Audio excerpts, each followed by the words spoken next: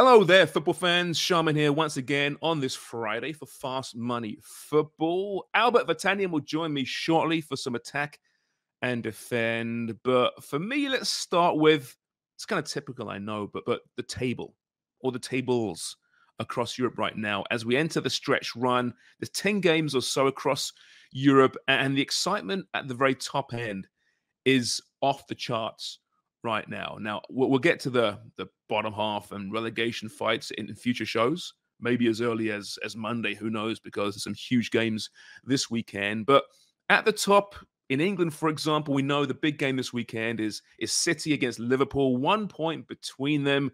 It could be a title decider. I don't know. Even Pep Guardiola said this Friday it's just a massive three points. Um, but but doesn't really know what to expect because at times it's been tight. Other times it's been really open. So he's not giving too much away there. But I'm going to focus a little bit more on the top four battle right now.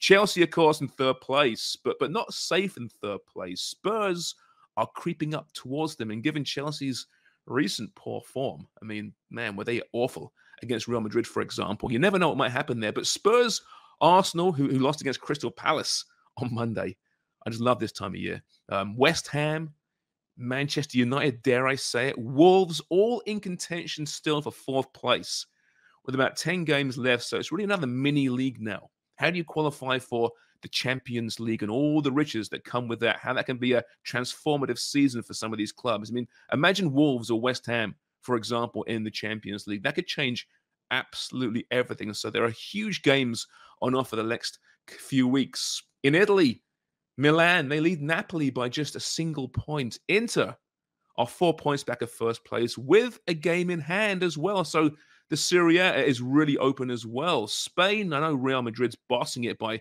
by 12 points, but there's a three way tie for second place with Barcelona. Yeah, Barcelona leading the way. If you haven't followed Spain this season, look at the last couple of months and see how Barcelona under Luis Enrique have turned everything around. They're going to be a real force next season. Germany, okay, Germany, there's there's no drama for a change. And they're aware of that. Bayern Munich don't care, but there's no drama.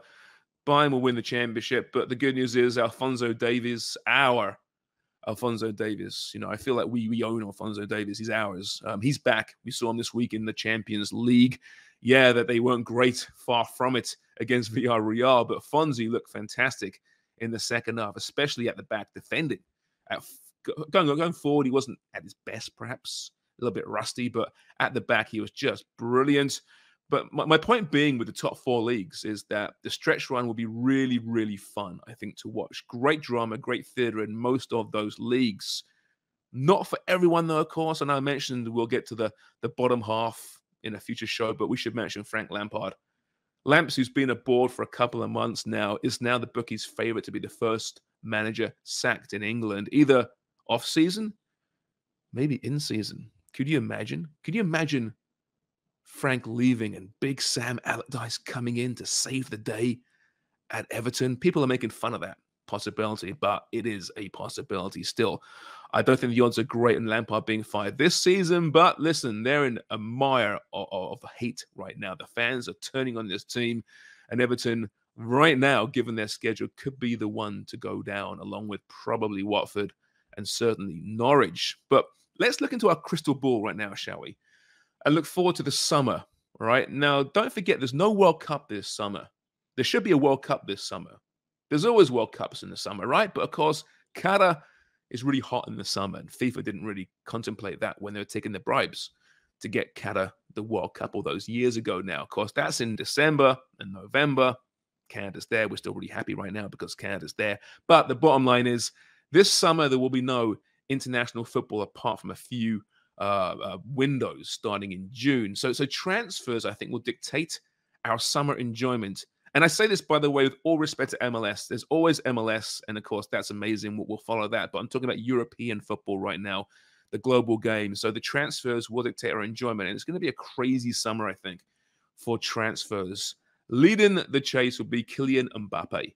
Now, the Real Madrid rumors are still there. PSG really want it. In fact, Mauricio Pochettino, who may not even be his manager next season, wherever he is, um, says that the best thing for PSG is for Mbappe to sign, the best thing for Mbappe is for him to sign with PSG. And he says he might even make him captain this weekend.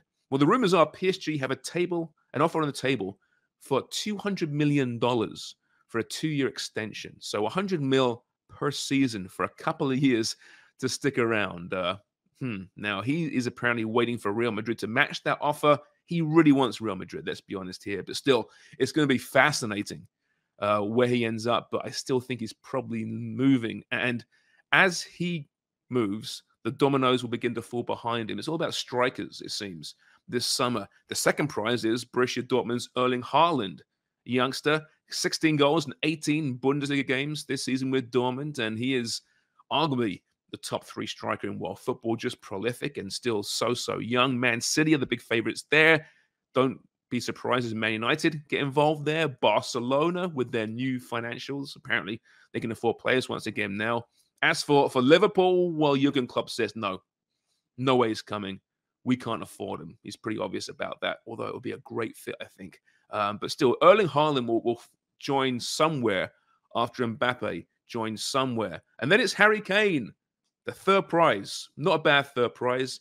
He's been brilliant in recent weeks, back to his very best. I really see a fit there with Manchester United. They've got to make a splash with their new manager, which looks to be Erik Ten Hag. More rumors this morning. Sky Sports now are saying it's all but a done deal. Now, I know Ralph Rangnick said in his press conference before their match this weekend, um, you know, he can't say too much, but they have interviewed some of the best managers in the world. And if that includes Erik Ten Hag, then he is still one of the best managers in the world. So take that as you will, but I think there's a very good chance that you'll see Harry Kane going to Manchester United this summer. They've got to make a huge splash, maybe with Declan Rice, dare I say. It's time that that team turned it around. Other names making the news Robert Lewandowski at Bayern Munich out of contract. Um, he's getting older, but he's still one of the top, top number nines in world football. Could he be leaving Bayern Munich at the time they went a little bit younger up front? What about Inter Milan's Lautaro Martinez? Uh, he stayed there because Romelu Lukaku left last year, but he's been brilliant again with 14 goals this season. Some big clubs want him, and depending on Inter Milan's books and their finances, he could be a target for a lot of big clubs. Of course, Cristiano Ronaldo. Is it time to move on? Does Ten Hag, who loves playing and coaching young players, want to have Ronaldo there? Is it time for a move to MLS where he'll score? Well, he'll probably be Auston Matthews, actually. Let's be honest. If he's played in MLS, he'll probably score 50 odd goals. I, I jest a little bit there, but let's be honest. Uh, that would be a fun move to Inter Miami, who desperately needs something at this point. The lesser lights, you know, looking around the, the leagues, Raphinha at Leeds could be on his way out. Jarrod Bowen at West Ham as well. Really good players who might be looking for that big step up.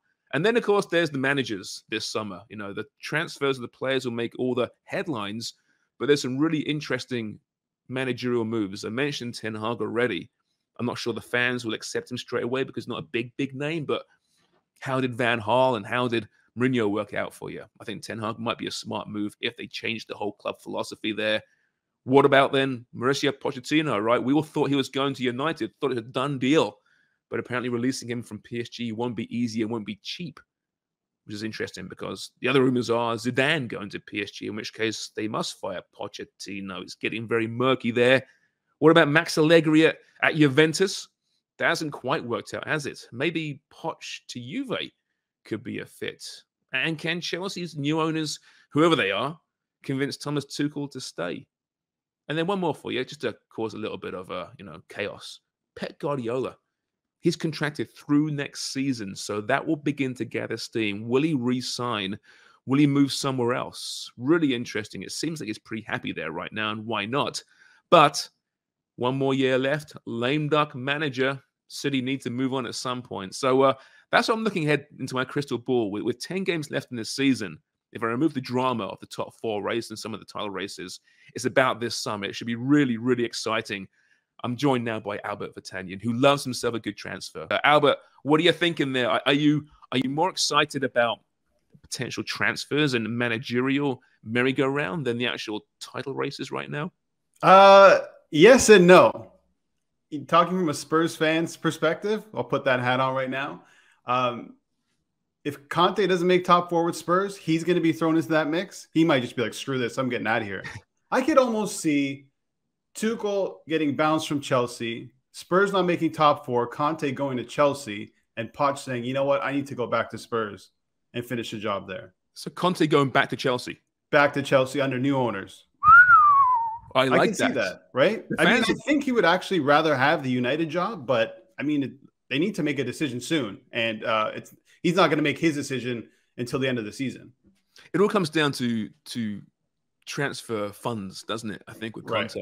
If if Dan Levy can convince Conte, if he's in top four, that they will spend money on what he wants and, and retain Harry Kane, then yeah, I can see him staying there. But when has Dan Levy ever done that really? Never. Right. So so. I can see Conte jumping ship at some point. And if he does, he might be the, the number one target for a lot of clubs. And I'd love to see him go back to Chelsea with new ownership. You know, Yeah. when when when Liverpool when, when uh, John Henry bought Liverpool from the Hicks Gillett era, right? It was really nasty. The fans were at an all-time low, been an awful ownership. They didn't know who this American was. And the first thing he did was he hired Kenny Dalglish back because he is just revered and loved by those fans. Now, I'm not comparing Kenny Dalglish to Antonio Conte at Chelsea because Dalglish did it as a player, as a player manager, and as a manager, right? King Kenny is called Kenny for a reason. But the fans went, okay, this guy, this new ownership, John Henry, this American gets it. And it really kind of made that transition a lot easier. With a new ownership group, if they went out and got Conte back, I think the fans would accept it. Even though they understand that he's a bit volatile, they loved him, right? He was incredible. So that might be a interesting fit, actually. Yeah, good, good point. And when you talk about Manchester United, as much as I do rate Ten Hag, um, I just feel like this is not going to work out. I, I feel like United fans really don't want this man. I, he might be the man, the right guy for the job, but like you said in your preamble there, that this this club needs a complete overhaul. They need to back him, you know, for a couple of seasons. And I just I just don't know if they have the patience for that. Well, here's the thing. I mean, they're going to spend though as well, right? I mean, they have to change the philosophy, and his philosophy is very spend. different They to always spend, right? Yeah, yeah, and, and I think they will spend. I mean, there's players available, right? I mentioned Declan Rice and Harry Kane, right? If they brought those two guys in for Oof. 250 million, I mean, that's that's a statement, Mm. right? Um, but he is, like you said, renowned for coaching young players, and, and that might be the philosophy going forward. But maybe you can buy yourself out of a bit of a mess right now as you implement the long term philosophy. And who's to say that he can't coach big players, right? We haven't seen it yet. Just because he's known for coaching young players doesn't mean he can't do that. Mhm. Um, I know there, there were talks this morning. I, I read somewhere how his demands are he must have a full say on all transfers in and out, which is really important. If they agree to that, then maybe they get it, and he can put his philosophy in there. So, yeah, that's an interesting one. It looks like it's, it's a done deal. He is a good manager, but uh, yeah, will he appease the fan base who might want you know that that big sexy name? Yeah. Conte. I mean, they've been talking about Pochettino for so long, but one Yeah. person that will be happy is Donny Van de Beek. He gets to play under his former manager. Maybe he actually gets some minutes. He can't play this weekend, actually. I was just looking at that. Something that we hate. He can't play against Manchester United because he's on loan from United. Uh, kind of a big hit for Everton, but I think he's also injured. Back to Frank Lampard. He's actually favored James, plus 163 to get sacked. Um, I don't see it happening. The board came out today and said they're sticking with their man, with Frank Lampard. Probably the wrong decision. Probably the wrong deci- deci- decision to bring him in in the first place. Um, I don't know how this ends for Everton, but it's actually getting sad now. At one point, I was like, you know, I kind of want to see him go down because it'd be a big story. But then I watched an, uh, an Everton fan TV thing. The guy came on, he had tears in his eyes, and I just, I really feel for those Everton fans. Uh, you know, considering what they're going through at the moment. Yeah, it's it's tough. They're a great fan base. They just love their team. They're loyal, um, but they're in a real predicament right now. I even feel sorry for Frank Lampard. I like Frank Lampard. He seems like a really decent guy, feet in the it ground. seems like he, he just doesn't know what to do right now. He's I like, know. I don't Why- know why what would he- when, when has he ever been in this position before? He was a star player in, in one of the greatest teams we've ever seen for for you know almost two decades.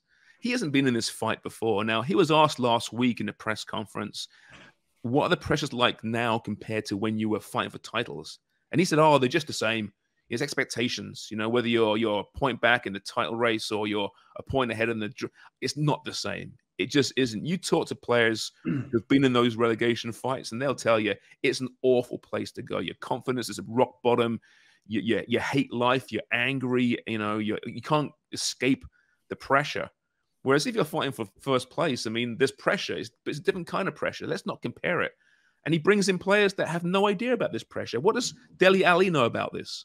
Well, he What doesn't does- even play, so it What does doesn't Van matter. Know about this? Yeah, I know, right? The worst possible signings, good Oh, long term, but you should have brought in some some some real warriors there as well.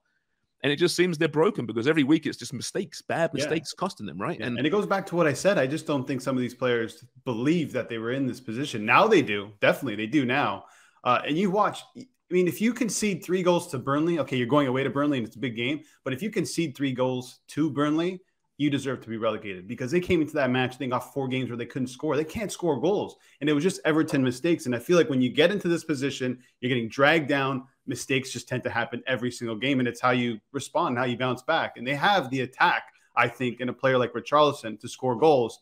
But again, he's not finishing his chances. It's just all going wrong at the same time for Everton. Yeah, they have some, you know, I mean, they've got some excuses, I suppose. The injuries were awful, but that's just reality in, in the Premier League. Yeah. Um, Calvert Lewin's been missing. You know, I mean, listen, Richarlison is a good player, absolutely, but is he a game changer? He might be at the World Cup, mind you, one of those players that just gets better with the Brazil shirt on. Yeah. But uh, yeah, no, I, I I'm with you. I think they're going down. If, if I'm going to bet right now, who's going down? It, it's them. They're, they're plummeting because their schedule's awful. Burnley are, you know, have a, you know, just have that confidence about them. And they've been down there, right? Sean Dyche knows how to handle these guys. All those guys at Burnley know exactly how to handle this because every yeah. year they they are in it, and every year they find a way out. And Sean so, Dyche said at halftime t- to his team, he goes, "These guys can't hold a lead. They haven't been in this position before. Go out there and attack them." And that's exactly what they did. So that, that's a perfect example. How There's the experience. Much different than what Frank Lampard can do. Yeah, when I heard Sean Dyche mention that in his press conference saying these guys can't play away from home, and he mentioned that he that's what he Six told points away. That is home, that is strategy. That is his way of getting under Everton even more and making them question themselves because they all heard that, right?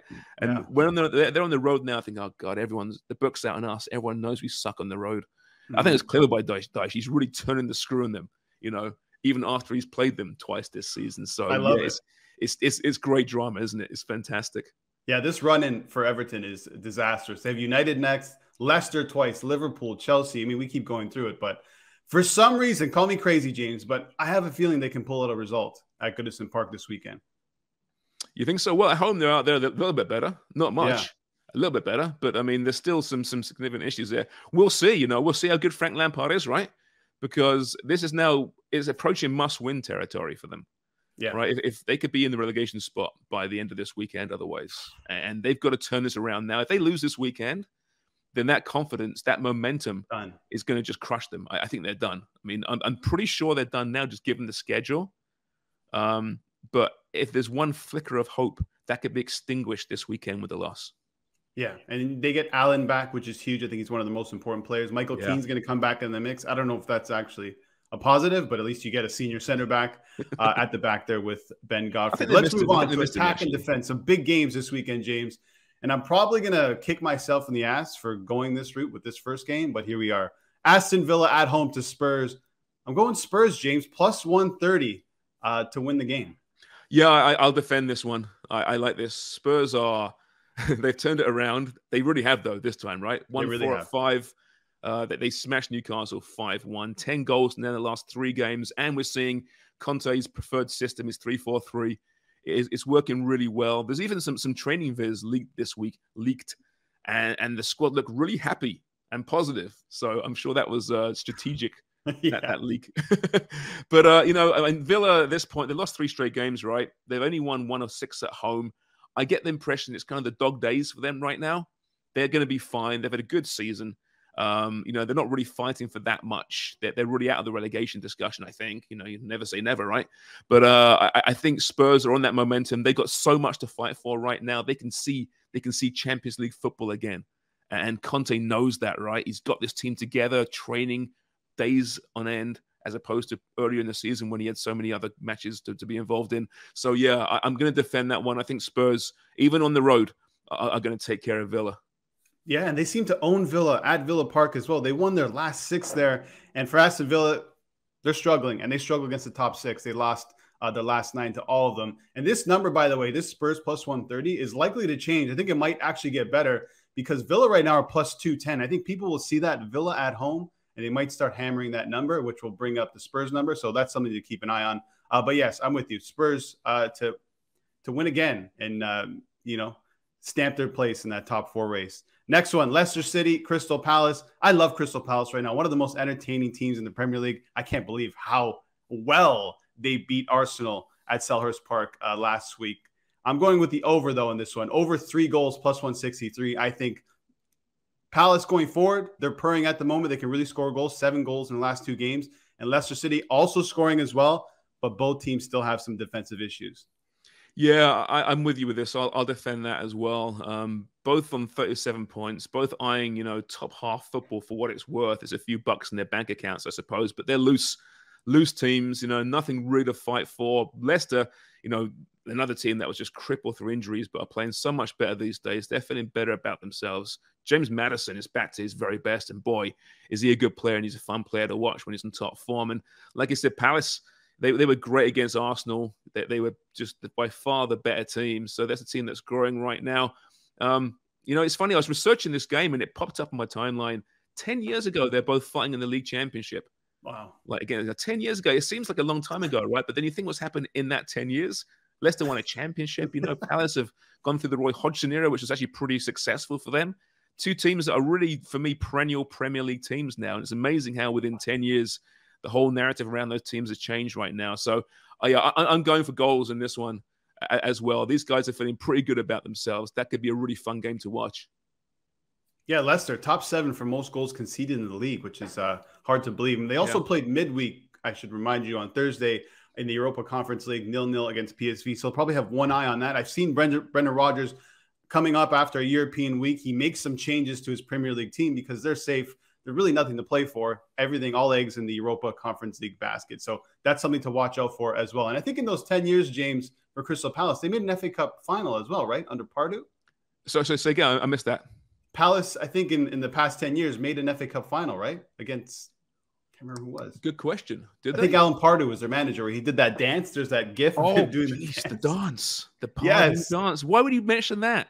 Oh, I thought I, I, pushed that out of my my my consciousness. That's one of the best gifts in Premier League history. Where's Where's Pardew now? Is he coaching? Is he? Oh, that's rounds? a great question. I'm gonna have to research that. Uh, I bet he's probably coaching somewhere. I, maybe in, I think I, you know what, it might be in Holland somewhere. Oh, That's something oh, yeah, yeah, you, you could be right there. Actually, he's, he's, a pretty good manager, right? I think he gets a bad rap, but it doesn't help when you have a reputation, then you start dancing like that. And you just picture him at some wedding, can't you? And that's yeah. his move. uh, and they ended up losing the game too. But yes, and they have a chance actually to make the FA Cup final. They have Chelsea, I think, in the semi, which you know what? I think Palace can do some do some damage there because their season just seems to be going in that direction. That's what they're playing for, and they're getting hot at the right time. Let's move on to the next game.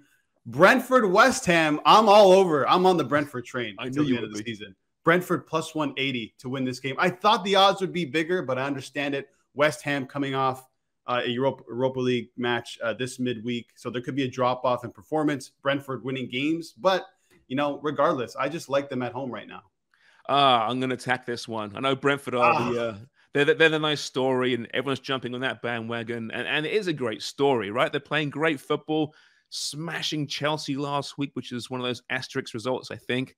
Bit of a fluke, and, and given how you know Chelsea's declining right now, that there's a lot of uh, you know I don't know, question marks around that result. I, I, know they're a nice story. I get it. Christian Eriksen scoring goals. Ivan Toney's in the cusp of an England call up. Christian Nørgaard is world class, as is Bryan Mbeumo. You know, I, I get it. But listen, this is West Ham. West Ham are still good. They're a very good team. They've won two or three games. I know they're coming off a draw in the Europa League on Thursday, but they're still very much in that Champions League conversation, just three points back of fourth place. They're a better team. Let's not overthink this one now, but West Ham's a better team, even on the road. Uh, and defensively against Lyon, I thought they were fantastic. So I, I, I like the odds for Brentford. I get that, but West Ham's taking this one. I'm sorry. I, you know what? I would agree with you if it wasn't coming off a Europa League week. Um, three wins, four losses, one draw when they come off a week like that. So there is a drop off in performance. We really saw it, you know, against Spurs. In the first half, they looked decent, but the second half, they looked dead on their feet, and Spurs took over. I'm not comparing Brentford to Spurs. I'm just saying. Yeah, you are. You're comparing them. I'm not. I hope that Christian Eriksen comes over to Spurs. I, I would love that. Uh, yeah, but their exactly. away form too has been pretty poor. West Ham winless away from home in the league since New Year's Day. So there's problems there. And Brentford already beat West Ham at the London Stadium. I feel like all signs are pointing towards Brentford, which means West Ham's probably going to win. Is at the pointy end of the season. The pointy end of the season. We're going to find out what West Ham really is, what David Moyes really is. Can they keep in that Champions League conversation? Brentford, I, I, listen, they win this weekend, they're safe, right? I Yeah. think they're safe anyway. They, they've done a fantastic job, but it's kind of entering that that dog days of the season for them as well. I really think West Ham on the road, and that's why you know Brentford get the odds because West Ham's home form is pretty appalling. But um, take the Hammers for the win. You got the hammers. Back to Alan Scott Pardew. He's currently an advisor on football matters to owners of CSKA Sofia. That's, so that's what he's doing. All right, well, good Yeah. for him. He's a smart football man. He is. He is, and he generally is. But he just has He a. does get a bad rap, eh? He's a bit. You know what? What do they call him in, in football? The term they call him chocolate because he loves himself. Yeah. Yeah. That, That's what the and, and but he, so he's confident. Who isn't confident in football, right? Like, you have a- to be I to get to that point, rap. right? What's that? I said you have to be to get to that point. You have to be, yeah, exactly. Yeah. Yeah. so hey, his listen, last team that he managed, James, was ADO Den Haag, which Den was Haag. in the Denmark? Dutch league. Oh, Dutch. Sorry, sorry. Yeah. Yeah, the Dutch league. Uh. I think he was relegated. So poor Pardew. but I'm sure he'll be happy to see the advisor role, eh? Yeah, the advisor role exactly, filling his pockets. But uh, so much Premier League to look forward to. I I didn't touch on Manchester City, Liverpool. To me, that's a game you just completely stay away from in terms of betting. A lot of the times, and I think you'll agree, when these top teams meet each other, they kind of cancel each other out, and it might not be the most entertaining game. I hope that's not the case. I hope both teams go for it. But I also believe that you know, for City, a draw actually really suits them here. Oh, yeah. I think Pep would be pretty happy with that. I think Liverpool are the team that really need to win this one. But there's no way Pep goes for a draw at home. No, right, no against way, yeah. Liverpool. There's no chance. Um, but I know what you're saying. I mean, they would take a point quite happily. Even, even Liverpool would take a point. There's still lots of football left, right? So Yeah. weird things can happen. Um, the, these two teams have played so much in recent years, and it can be tight. It can be open. Like you said, avoid it because you don't know what to expect. I, I'd say Liverpool might be the slightly more on form team, just about more dynamic, certainly. Yeah, and you know Um, what? In, in terms of what happened this midweek in the Champions League, Liverpool three one. They're pretty comfortable. They're probably going through the next next stage Yeah. in the Champions League. Man City, I think they're walking into hell next week at the Wanda in Spain. If Atletico score first in that game, there's going to be bodies on the floor uh, Oh, for Manchester City coming out of there. So I really think he's going to have Pep's going to have one eye on that as much as he has one eye on the Premier League, and you kind of have to balance. Well, which one is you know more important? I think Pep is at that stage. Yeah, I think he is, and I think for for Pep and for City, the most important tournament is the Champions League. They haven't won that yet. They've dominated England. They, they they've bossed it. They haven't got that European Cup, and they want it so badly. So uh, I know both teams are pretty healthy this weekend, um, and they have the depth to do what he wants. He could he could rotate and still have a you know arguably the best eleven in, in world football. So it's going to be. I, I can't see it not being entertaining. I know what you're saying, hundred percent. That often these these types of games are not, but can you imagine City or Liverpool playing anything but an entertaining No. style of football? Yeah, exactly. There's no such thing. You know what? I was just looking at City's games kind of against like the top six or whatnot. They don't really slip up, but for some reason they've slipped up against Spurs a couple times. I think when they run into a team that can match their intensity, then we really see what Manchester City is all about, and that's well, that's what Liverpool's all about. I mean, it's it's so exciting, and the, the depth for Liverpool too. They can throw on anybody and still play the exact same way, similar to what Manchester City do. It's it's fascinating.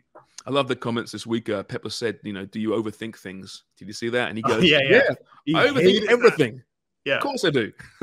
and he does. You know, that's the truth. He Yeah. definitely does, right? That's what makes him who he is. He was asked today too. Uh, are you the best manager in the in the world? Because that's what Klopp said in his press conference. You know, again, just kind of sticking it a little bit. Of course. And he gets so he gets so uncomfortable saying, "No, I'm not the best coach in the world. No, no, Yeah. I'm not. I've been very fortunate, great staff, and I'm ter- terrible pep impression. I'm sorry. Great staff, great clubs." And he mentioned I have lots of money to spend, so I give him so much respect for acknowledging that.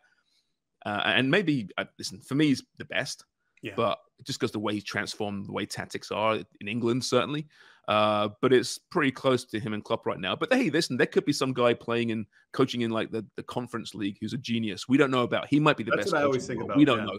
He, she, she might be. Emma Hayes at Chelsea is a fantastic coach. Let's Mhm. put her in the mix as well. You know, so Yeah. uh, this this this whole is he the best? Is who cares really? Yeah, who cares? Just enjoy it while they're here. Yeah. Uh, one last thing. Do you think it's a title decider? I'm starting to lean towards no. No, you know, there's so many games left, and when when you're into the final five, yeah, but when there's like 9, 10, 11 in some cases games left, um, I think it's a little bit too soon to say that. I tell you what, if, if City win, yes. If it's a draw or Liverpool win, then no. If that makes sense to you, because I think No, I four it. points would be. I- I can't see City dropping four points, given their their schedule. It's an easier schedule to Liverpool as well, quite considerably. Yeah. Um, so yeah, if, if they win it, it, yeah, if they win it is. If they don't win, be it draw or loss, then no, it's still going down to the wire. My message to everybody is just enjoy it because a few months ago there was no such thing as a title race, and here we are coming to the end of the season. We have a title race, top four. Yeah. Everton might be relegated. Everything is happening at the moment. It's a great time to be a football fan. It is. It's fantastic. It's going to go right down to the wire, wherever it is, whatever end of the table it is, and then the summer starts, and all the fun begins. Yeah, exactly. All right. Well, that's it for Fast Money Football. Thank you so much, James. Make sure you follow him at James Sharman on Twitter. You can follow me at the Real Bert V, and please head over to Parlay.tv for more parlay content. Good luck this weekend.